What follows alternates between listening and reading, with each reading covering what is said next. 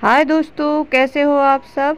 तो फ्रेंड्स चलिए आज हम बताएँगे गोलगप्पे। गोलगप्पे का हम ऐसा सीक्रेट बताएँगे तो आप एक बार अगर इस तरीके से बनाएँगे गोलगप्पे तो बहुत ही यमी और बहुत ही क्रिस्पी बन के तैयार होंगे और कभी आपके गोलगप्पे बिल्कुल नहीं पचकेंगे, बहुत ही अच्छे फूले फूले रहेंगे। तो फ्रेंड्स चलिए बनाना शुरू करते हैं और एक सीक्रेट है, बहुत ही अच्छा गोलगप्पा बन के हमारा तैयार होगा, बिल्कुल ठेले के जैसा। तो फ्रेंड्स चलिए, बनाना शुरू करते हैं। तो यहाँ पर लिया है हमने सिर्फ़ 20 ग्राम। 20 ग्राम सूजी लिया है और दो हिस्सा लिया है हमने आटा, जो खाने वाला आटा होता है उसको। और इधर लिया है हमने आधा चम्मच बेसन। तो फ्रेंड बेसन हमें बहुत ही ज़रूरी डालना होता है गोलगप्पे में, जिससे हमारे गोलगप्पे बहुत ही क्रिस्पी होते हैं। जब हम घर पे गोलगप्पे बनाते हैं तो हमें बहुत डाउट रहता है कि यार कैसे गोलगप्पे बनाए? बिल्कुल हमें ठेले के जैसे गोलगप्पे नहीं मिलते हैं बनाना। तो फ्रेंड्स, आज हम बहुत ही अच्छे तरीके से आपको गोलगप्पे बनाना बताएँगे। तो यहाँ पर डाला था हमने एक चम्मच मैदा और हाफ़ चम्मच डाला है हमने नमक। क्योंकि नमक से हमें थोड़ा क्रिस्पी और थोड़ा नमकीन गोलगप्पा हो जाता है। अब हमने डाला है यहाँ पर नॉर्मल पानी। कोई गर्म पानी नहीं किया, हमने नॉर्मल पानी लिया है और थोड़ा थोड़ा करके इसको हम डालते जाएँगे, क्योंकि इसमें सूजी जो डली है तो हमारी सूजी अच्छे से फूल भी जाएगी। तो देख सकते हो दोस्तों, अब हमें कुछ इस तरीके से इसे गूँथना है। तो दोस्तों, जैसा हम आपको गूँथना बताएँगे, वैसा ही आपको गूँथना है।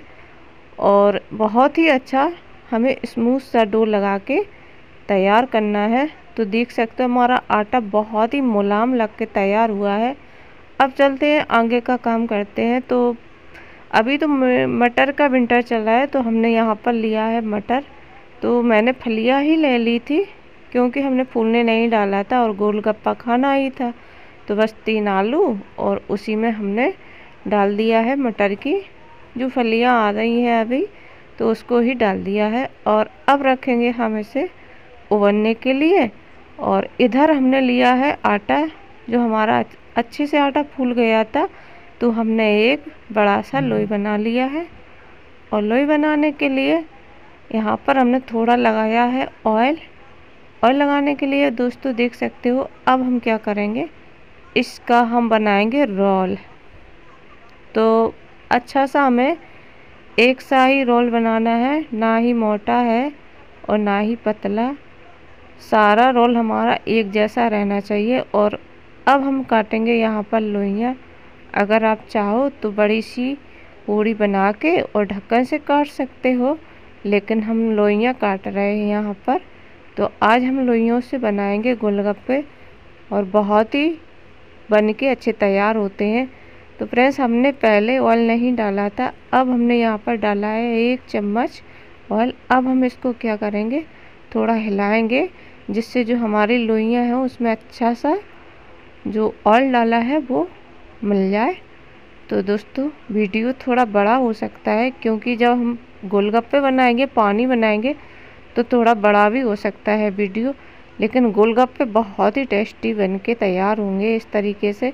तो थोड़ा हमने डाला है एक चम्मच आटा, जिससे हमारी जो लोइयाँ हैं चिपकेगी भी नहीं और अच्छी तरह से निकल भी आएँगी। तो देख सकते हो दोस्तों एक एक लोई करके इस तरीके से हम डालते जाएँगे और हमें इसमें मोयन नहीं देना था तो हमने मोयन नहीं दिया है। अभी हमने डाला है और इसको हमने लोई उठाई है और अंगूठे की सहायता से इसको दबाना है। दबाने के बाद अब हम इसको बेल देंगे। तो इस किनारी से रख के हमने उस किनारी तक बेल दिया है और देखिए हमारी एक गोलगप्पे की पूड़ी बहुत ही अच्छी बन के तैयार हुई है दोस्तों। तो आपको हम दिखा दें कुछ हमारी इस तरीके की है, जो इतना ही हमें मोटा चाहिए, ज़्यादा मोटा भी नहीं चाहिए। तो बस इस तरीके का हम पूरी पूड़ियाँ बना के तैयार कर लेंगे। और दोस्तों, अगर आपको ढक्कन से काटना है तो ढक्कन से भी काट सकते हैं। तो हम पूड़ी बना के तैयार कर रहे हैं। और अभी हमने लिया है कॉटन का कपड़ा तो हम इस तरीके से डालते जाएँगे। और अगर आप गर्मियों में बनाएँगे तो हाँ कपड़े को ज़रूर भिंगो लें और अगर आप इसमें बेसन मिलाते हैं, तब तो बहुत ही अच्छी क्रिस्पी आपकी, जो गोलगप्पे की पूड़ी है, बहुत ही अच्छी बन के तैयार हुई तो हमने सारी पूड़ियाँ बना के तैयार कर लिया है। अब हम एक एक करके इसमें डालते जाऊँगी। और थोड़ा ध्यान रखें कि गर्म ही होना चाहिए ऑयल ज़्यादा ठंडा भी नहीं होना चाहिए। और एकदम लो होना चाहिए और लो पे ही हमें इसको डालते जाना है। और थोड़ा ये सीक्रेट क्या है, इसको हिलाते जाना है, जिससे हमारी जो भी पूड़ियाँ गिरती जाए, वो अच्छे से फूलती जाए। तो दोस्तों, देखिए, हमारे सारे गुलगप्पे बहुत ही अच्छे से फूल के तैयार हुई हैं और बिल्कुल ठेले के जैसे गोलगप्पे हमारे बने हैं। तो दोस्तों, अब लगाएँगे हम यहाँ पर पानी। तो बहुत ही अच्छा टेस्टी पानी बना हुआ था। तो सबसे पहले लिया हमने मिर्च है, अदरक है और धनिया। और लाल मिर्चा है, जीरा है तो हम इसको पीस लेंगे। इधर लिया है हमने दो चम्मच अमचूर पाउडर।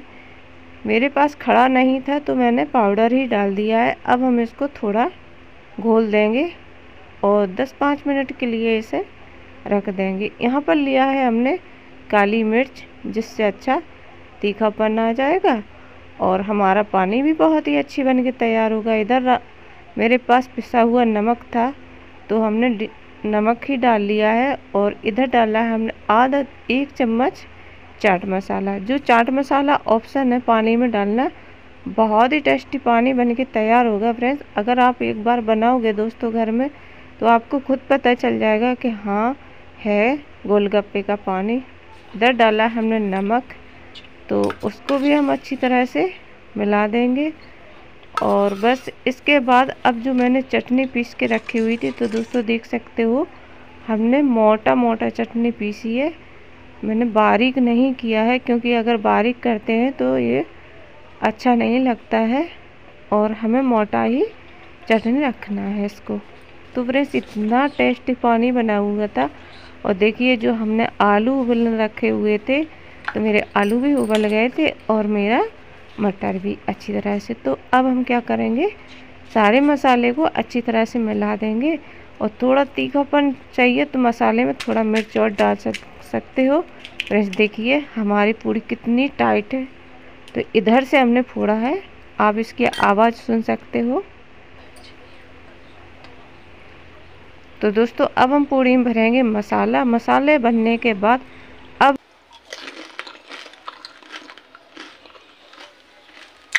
गोलगप्पा बन के तैयार हुआ था। तो फ्रेंड्स अपने घर में आप ज़रूर बनाए इस तरीके के गोलगप्पे